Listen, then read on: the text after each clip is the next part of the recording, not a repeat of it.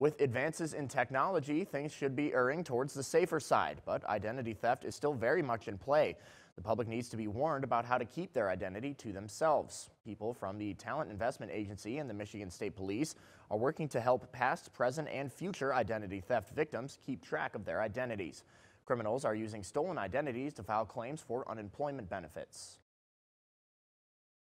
A lot of elderly victims, we, we see a lot of that. Um, I mean, you've seen news reports over the years where people call in, they think it's legit. They see something on the internet, they think it's a legitimate website. While that demographic is one of the more targeted, there are many other groups of people that can be affected. There are many tips to keep your identity to yourself. Some include shredding old information and keeping your social security card safe.